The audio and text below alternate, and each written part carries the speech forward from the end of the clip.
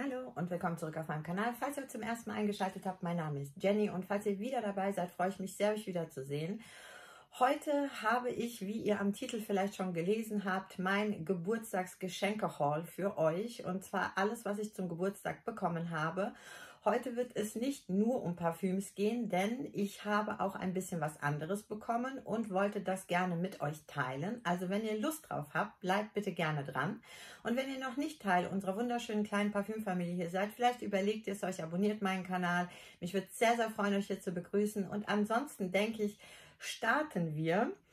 Vor zwei Tagen war mein Geburtstag und ich war, ja, in der Situation, dass ich das alles hier, was vor mir steht, bekommen durfte und bin wahnsinnig, wahnsinnig dankbar dafür und über, über glücklich.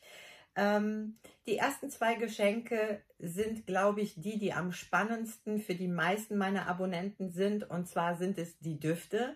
Und mit denen will ich auch starten. Und der erste Duft, den ich bekommen habe, haben zwei Abonnentinnen von mir sogar erraten nach meinem letzten Video, wo ich gesagt habe, ich wünsche mir einen BDK-Duft noch zu meinem Geburtstag. Und zwei haben es tatsächlich erraten. Es ist Gris Chanel von BDK.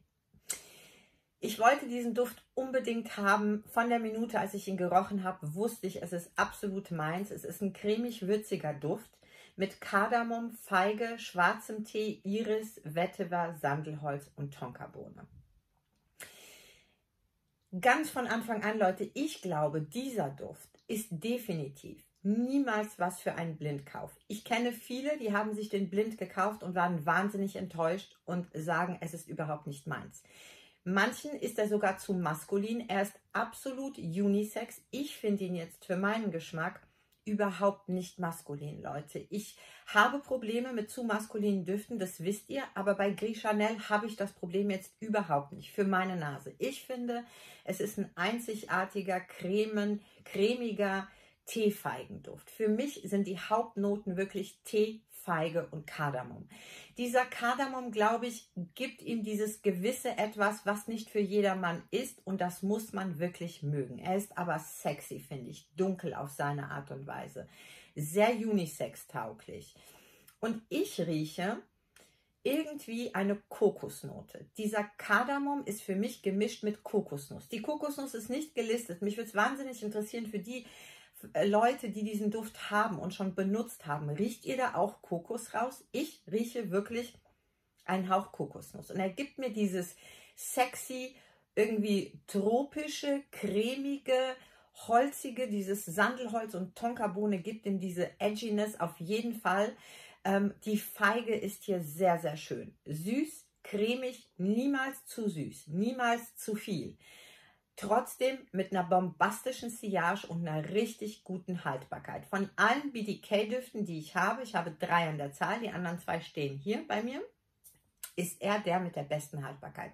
Bei ihm komme ich definitiv auf acht Stunden mit guter Projektion. Also er ist definitiv da. Ich rieche mich selber, die anderen nehmen mich wahr.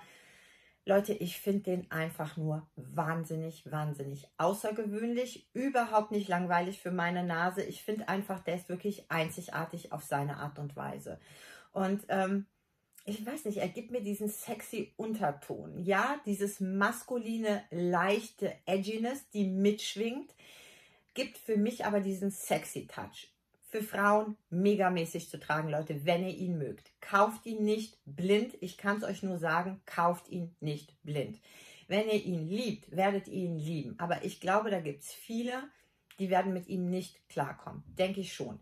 Der Vetiver und der Kardamom sind definitiv hier ein bisschen maskulin angehaucht, aber wirklich nur dezent. Es gibt ihm nur diese Edginess, ja. Das ist für eine selbstbewusste Frau, die weiß, was sie will, die mit beiden Beinen im Leben steht. Das ist nichts Unauffälliges, aber nicht so penetrant ist, dass ihr das nicht ins Büro tragen könntet. Das ist bürotauglich, das ist überall im Job auch tauglich. Auch die, die im medizinischen Bereich arbeiten, können den tragen, Leute. Er ist zwar da, er ist präsent, aber er wird niemanden ärgern. Er ist nicht zu viel, niemals. Elegant, sexy, mysteriös, dunkel. Ich finde ihn auch sommertauglich, nicht tagsüber in der größten Hitze, abends im Sommer definitiv. Oder wenn es so ein bisschen vielleicht nicht ganz so heiß ist, ich werde den tragen, auf jeden Fall. Ich finde den einfach nur mega toll, Leute. Ich kann ihn nicht genug halten. Ich möchte heute nicht nur eine Parfüm-Review machen. Deswegen halte ich mich heute etwas kürzer. Er wird hier und da definitiv in meinen Reviews noch auftauchen und wir werden noch weiter über ihn reden. Ich habe ihn jetzt erst zwei Tage, werde ihn aber genießen und werde euch später berichten, wie es auf Dauer mit uns zwei funktioniert. Liebe ich ihn immer noch nach einem halben Jahr? Wie schaut es dann aus? Aber für jetzt ist er einfach nur für mich der mega, mega Hammer. Gris Chanel von BDK. Das ist der erste Duft. Und der zweite ist der erste Duft aus dem Haus und zwar ist es Nishane und es ist Wulong Cha. Das war auch kein Blindkauf. Ich habe mir den gewünscht, ich habe den getestet und war schockverliebt in ihn und mir gefallen noch zwei andere aus dem Haus. Die würde ich mir aber eher noch aufheben ähm, für später irgendwann. Das war der, den ich mir ausgeguckt hatte als ersten Duft aus dem Hause. Das ist ein frisch-zitrischer Duft. Und zitrische Düfte, wenn ihr mich ein bisschen kennt, ist eigentlich nicht ganz so meins. Ich glaube, den einzigen, wo ich sage, der gefällt mir sehr gut, ist der Tom Ford, den ich da hinten stehen habe. Ähm, Mandarino di Amalfi finde ich super für den Sommer, aber der hier hat etwas, was mich wirklich umgehauen hat. Für mich ist das ein perfekter Sommerduft. Wir haben Bergamotte, Orange, Tangerine, Tee, Muskat, Moschus und Feige. Das ist dieser Wulong-Tee. Und ich habe sehr viele Teedüfte ausprobiert. Sehr, sehr viele. Und ich liebe Tee in meinen Düften. Auch der Gris Chanel von BDK hat Tee, aber der hat schwarzen Tee. Der hier ist grün definitiv grün angehaucht. Er ist frisch, er ist dieser grüne Tee mit Bergamotte, das gibt ihm noch diese extra Frische und dieses Zitronige. Ähm, aber der Teeduft hier hat etwas, was mich wirklich umgehauen hat und das ist die Haltbarkeit, Leute. Das ist ein Extrait de Parfum und es ist der erste Teeduft, der auf mir acht Stunden, sogar bis zehn Stunden bombastisch hält. Ich habe mir den in der Parfümerie aufgetragen. Morgens irgendwann, vormittags war ich in der Stadt und am nächsten Morgen hatte ich ihn immer noch am Handgelenk. Ich habe geduscht, ich war den ganzen Tag unterwegs ähm, und das war für mich das, wo ich gesagt habe, ja, das ist ein Teeduft, der es wirklich endlich mal bringt, der da ist, der performt, hat eine wahnsinnig tolle Sillage. Leute, der ist richtig da. Haltbarkeit für einen Teeduft monstermäßig. Wenn ihr wirklich grüne Teedüfte liebt für den Sommer, sowas sucht, einen weichen, cleanen, sauberen, erfrischenden, ähm, leicht fruchtigen. Er hat ja auch diese Feige und den Moschus. Das gibt ihm so diesen extra Touch, wobei die Feige hier wirklich sehr, sehr zurückhaltend ist. Sie gibt ihm mit der Orange diese leichte Fruchtigkeit, aber ich würde das eher in den Hintergrund stellen. Vordergründig ist er wirklich zitrisch, aber nicht so lemon-zitrisch frisch, sondern wirklich so grüner Tee Bergamotte. So in dieser Art Zitrik. Und für mich ist es überhaupt nicht so viel. Ähm, für mich ist es genau richtig. Er erfrischt mich jetzt im Sommer. Er gibt mir dieses cleane, saubere, gepflegte Gefühl mit einer mega Top-Performance. Auch ihr Männer da draußen. Wenn ihr Teedüfte, grüne Teedüfte, frisch, erfrischend, clean, sauber, wenn das euers ist, guckt euch den Wulong Cha an. Für mich einer der besten Sommerdüfte überhaupt an Neuentdeckung, was ich jetzt so entdecken konnte. Mein liebster Sommerduft der Welt ist Creed Virgin Island Water. Ich habe ihn euch in meinen Sommerfavoriten vorgestellt. Wulong Cha kommt jetzt direkt dahinter. Performance, Duft, Sillage. 10 von 10 Leute, das Haus Nishane interessiert mich wahnsinnig. Ich finde die Performance von den Düften top. Ich habe wirklich ein paar getestet. Sie werden nach und nach bei mir wahrscheinlich einziehen, der ein oder andere. Ich habe mir noch zwei ausgeguckt, die mir sehr gut gefallen haben, aber Wulong Cha war jetzt für den Sommer ein Must-Have. Solltet ihr den noch nicht probiert haben, ich glaube, der ist total underrated. Über das Ani reden alle. Und ja, auch ich fand das Ani megamäßig, aber das wird zum Winter erst bei mir einziehen, denn für mich ist es ein Herbst-Winterduft. Ähm, anders mit dem Wulong Cha. Übrigens, falls ihr mal sehen wollt, die Flaschen, Leute, sind richtig toll. Es ist ein 50 Milliliter Flakon und äh, wie gesagt, Extrait de Parfum. Das ist mein zweiter neuer Duft. Das war's mit den Parfums. Also für die Leute, die nur für die Parfums meine Video gucken, ich glaube, für euch ist dann das Video hiermit beendet, denn jetzt zeige ich euch meine, oh Leute, meine Geschenke, die ich bekommen habe und ähm, oh mein Gott, ich äh, könnte nicht glücklicher sein. Es ist nicht oft, wirklich Leute, es ist nicht oft, dass ich so Sachen bekomme. Ich muss sehr lange sparen auf äh, solche Luxusartikel und kaufe mir sowas wahnsinnig selten. Aber wenn dann alles so zusammenkommt und jetzt war es einfach so, dass sehr vieles zusammengekommen ist, was ich mir gewünscht habe, so über die Zeit, weil es entweder vorher nicht lieferbar war oder irgendwas anderes. Ähm, und jetzt habe ich es alles und ich zeige es euch. Und äh, ja, es ist für mich absolut keine Selbstverständlichkeit. Und eine kleine Sache an dieser Stelle möchte ich euch noch sagen. Ähm, es sind schöne Sachen und ich liebe Designer-Sachen, ich liebe Luxus-Sachen und es ist alles ganz toll, das alles zu haben, aber es darf und soll nicht Mittelpunkt des Lebens sein.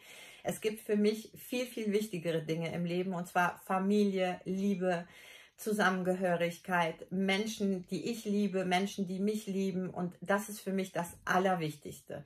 Ich bin sehr glücklich, diese Luxussachen haben zu dürfen.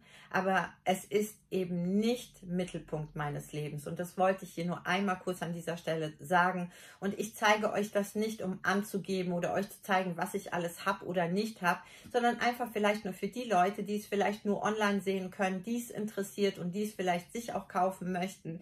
Für die ist praktisch jetzt der Rest des Videos. Und jetzt quatsche ich nicht mehr weiter. Mein erstes Geschenk. Und zwar kommt es aus dem Hause Versace. Versace wird jetzt sehr groß vertreten sein, wundert euch nicht. Ich liebe Versace. Und das war ein Stück, was ich mir ganz, ganz lange gewünscht habe. Und zwar ist es die Medusa-Kette. Ich hole sie mal raus. Sie kommt schon von selber raus. So sieht sie aus. Das ist der Medusa-Kopf an einer goldenen Kette. Wunderschönes Teil für mich, Leute. Es ist Geschmackssache. Für viele wird es zu viel sein. Ich liebe zu viel. Ähm, so sieht das dann aus. Am Hals, die kann, kann man auch länger tragen. Ich habe sie jetzt einfach mal so, damit ihr seht, wie es aussieht. Sie hat hier oben ein paar Kristalle. Sie gibt es in verschiedenen Ausführungen. Meine hat jetzt die Kristalle einfach nur hier oben. Und dann ist eben hier von beiden Seiten. So schaut das aus. Das ist mein erstes Geschenk. Wie gesagt, ich habe es mir wahnsinnig gewünscht. Ich bin so glücklich, sie haben zu dürfen. Und äh, ja, ich war wirklich mehr, mehr, mehr als glücklich und werde sie tragen, werde sie genießen. Das ist mein erstes Geschenk. Das nächste Geschenk wird wahrscheinlich den meisten überhaupt nicht gefallen, aber es ist ja mein Geburtstag, es waren meine Wünsche und es ist schon wieder aus dem Hause Versace und ich habe es natürlich schon ausgepackt. Mein Handy ist schon drauf. Es ist eine Handyhülle und zwar ist es die 3D Silikon Medusa Hülle. So schaut die aus, eine ganz normale Silikonhülle in einem Neon Pink. Ähm, ich wollte sie unbedingt haben, Leute. Für mich war das alles. Ich weiß, für viele wird es kitschig sein, für viele werden sagen, oh Gott, was ist das? Es ist mir egal, weil es ist ja mein Geschmack und ich liebe es. Ich könnte nicht glücklicher sein. Ich, ähm, ja, die war auch schwer zu bekommen, aber ich habe sie jetzt und so sieht mein Handy jetzt aus. Ich wollte euch einmal gezeigt haben für die Leute, die es interessiert, die es vielleicht online gesehen haben. Es steht ziemlich ab, nur dass ihr da Bescheid wisst. Also ich glaube, das ist nicht was für jeden, für kleine Handtaschen sowieso nicht. Ähm, so schaut es aus nochmal von Namen, wer es dann sehen möchte. Das war mein zweites Geschenk. Ich muss gerade mal mein Handy ausschalten. So. Die dritte Sache, die ich euch zeige, ist wahrscheinlich das Unnützeste, was es gibt auf diesem Planeten, aber Jenny musste es haben. Ein absolutes Mode-Accessory, sonst nichts. Aus dem Hause Dior, ich habe es natürlich schon ausgepackt, es ist kein Unboxing, Leute ähm, getragen noch nicht, aber es ist die Nano Settle Pouch von Dior in Oblique. Das ist dieser Canvas-Stoff. Ähm, so sieht das aus. an einer goldenen Kette. So sieht das aus. Leute, es ist mini, mini, mini. Okay? Da passen wirklich nur Kreditkarten rein, ein bisschen Geld. Ähm, viel mehr ist da nicht rauszuholen, aber es sieht wahnsinnig stylisch aus, wenn ihr das aufmacht. Das hat einen Magnetverschluss ähm, und dann ist hier einfach so ein, einfach nur ein, praktisch so ein Etui. Hinten könnt ihr das einmal an den Gürtel festmachen oder ihr könnt die Kette da durchziehen und es als Gürteltasche tragen. Ich will es definitiv als Crossbody tragen. Sieht wahnsinnig stylisch aus. Es ist einfach nur ein Modeaccessoire, Leute. Nichts weiter. Wie gesagt, als Tasche ist es nicht wirklich zu gebrauchen. Ich habe mich verliebt. Ähm, ich fand das immer toll. Die war ständig ausverkauft. Sie war nicht zu bekommen. Ich konnte selber kaum glauben, weil ich gedacht habe, ähm, ja, also, aber anscheinend bin ich nicht die Einzige, die es liebt. Die Kette kann man abmachen. Das heißt, man könnte es auch einfach nur als Kreditkartenetui nutzen. Einfach nur mal für die, die es interessiert. Ich habe hier mein Kartenetui und das hat im Prinzip genau dieselbe Größe. Ich könnte das noch nicht mal da reinstecken. Es ist zu groß, um es hier reinzutun. Aber nur, dass ihr im Vergleich einfach mal seht, wie klein dieses Ding ist. Aber wie gesagt, es ist wahnsinnig toll. Für mich ist es ein Modeaccessoire zu, zu einem bestimmten Outfit jetzt im Sommer Klar muss ich dann, wenn ich meine Sachen mitnehmen will, eine größere Tasche mitnehmen, aber es ist wahnsinnig stylisch in meinen Augen. Ich liebe es. Nano Oblique Saddle Pouch. Und jetzt kommt das Hauptgeschenk was ich bekommen habe von meinem Mann. Und wer mich mir auf Instagram folgt, hat sie wahrscheinlich schon gesehen. Ich habe sie da mit einem Bild gepostet, weil ich meine Freude kaum zurückhalten konnte. Leute, ich kann es selber nicht glauben, dass ich sie haben darf. Ähm, ich sage euch ganz ehrlich, das war ein absoluter Spontankauf. Ich ähm, wusste gar nicht und habe diese Tasche nicht wirklich gesehen. Ich hatte lange mit der Medusa Berg äh, geliebäugelt, aber mit einer anderen. Und als ich dann im Laden war, um mir die Sachen einfach mal anzuschauen, habe ich diese Schönheit gesehen und da war es um mich geschehen. Es ist die Versace Medusa Bag die studded, also mit diesen Studs. Ich weiß nicht, ob die Kamera das an, einfängt, aber diese Studs sind wie Keramik. Sie glänzen weiß. Das kommt auf der Kamera, glaube ich, nicht so rüber. Sie sieht aus, als wäre sie aus Keramik. Sie sieht gar nicht aus wie eine Handtasche, wenn ihr sie jetzt live seht. So sieht sie aus. Einmal von der Seite und einmal von hinten.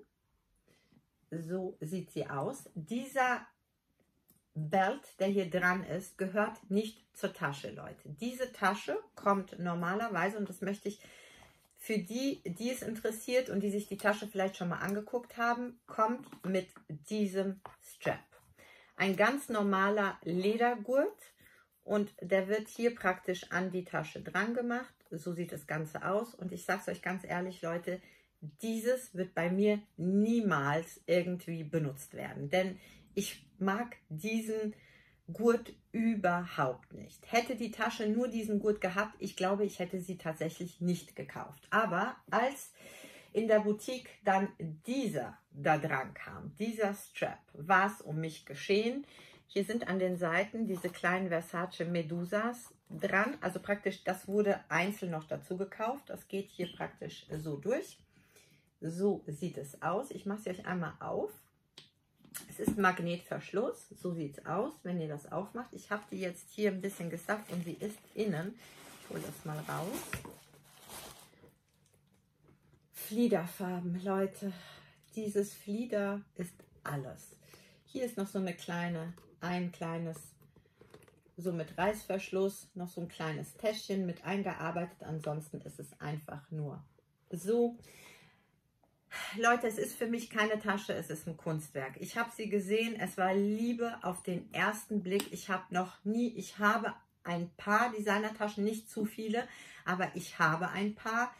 Das ist mit Abstand für mich das Schönste, was ich je gesehen habe. Das war Schockliebe, die hat mich fast zu Tränen gerührt. Es ist absolut meins. Hätte ich mir eine Tasche kreiert für mich, so hätte sie ausgesehen. Leute, ich kann euch in Worten nicht beschreiben, was ich empfinde, wenn ich diese Tasche in den Händen halten darf.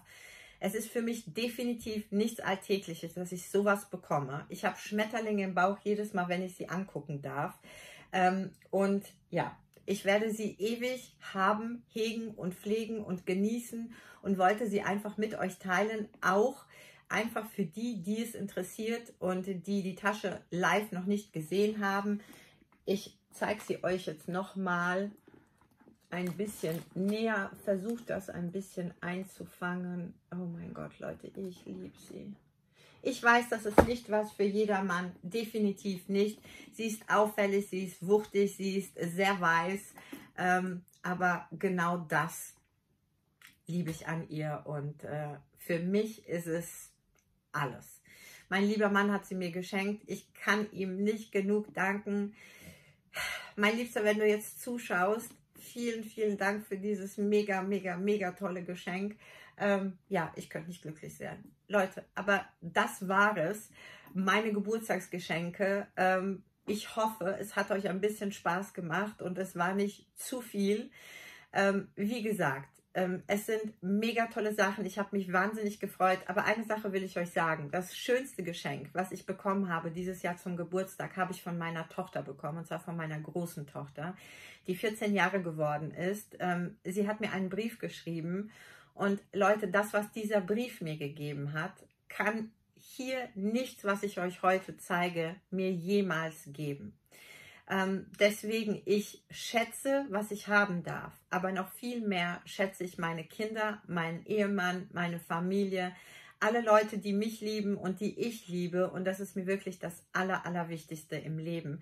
Und das wollte ich hier noch einmal sagen. Ansonsten, ich hoffe, es war ein bisschen informativ und wir sehen uns bald in einer meiner nächsten Videos. Bis dahin, tschüss.